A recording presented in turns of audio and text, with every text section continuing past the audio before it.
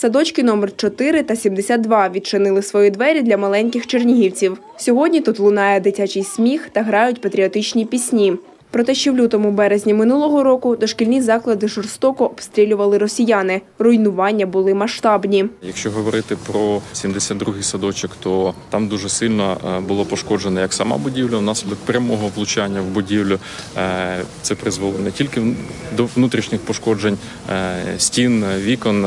Дуже сильно була пошкоджена система опалення. Четвертий садок ворог також залишив без вікон із пошкодженим дахом, дверима та підлогою. Прогулянкові майданчики поле бойових дій і мало схожі на ті, де грали діти. Відновити роботу обидвох закладів вдалося завдяки підписанню тристороннього меморандуму з управлінням освіти, компанією «Буденергомонтаж» та японською організацією «Peace Winds Japan» у квітні 23-го. У межах угоди японці взяли на себе левову частку фінансування ремонтних робіт у 4-му та 72-му садочках. Виділили 650 тисяч доларів. Налагодити зв'язок іноземців із міською владою допомогли представники однієї із чернігівських компаній – виробника товарів для домашніх улюбленців. У нас е, в Японії є дуже е, крутий партнер і дистриб'ютор нашої продукції. Я у нього запитав, а чи є якісь організації, які б помогли би е, відновленні Чернігова.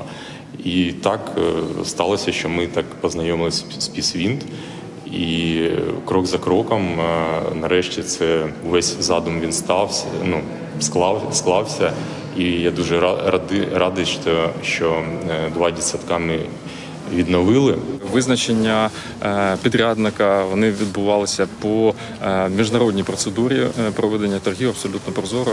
Дуже багато учасників приймало участь. Саме прозорість в цій діяльності дає підстави міжнародним партнерам бути впевненими, що вони.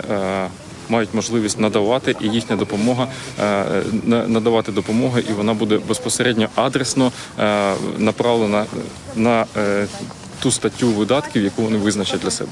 Організація Peace Winds Japan займається підтримкою людей, що перебувають у зоні бойових дій. 30 жовтня під час візиту до Чернігова партнери на власні очі побачили результати співпраці. Замість вибитих вікон нові, уже прикрашені дитячими роботами. Холодні групи стали теплими приміщеннями для малечі. У садочку номер 72 за кошти японської сторони також відремонтували приміщення харчоблоку. I'm very impressed Я дуже вражена бачити різницю між тим, що було, і тим, що зараз. Я дуже рада бачити охайний і милий дитячий садок і дітей. Я думаю, що це не кінець роботи, і робота має продовжуватися. Є ще багато людей, і є ще багато подальшої роботи.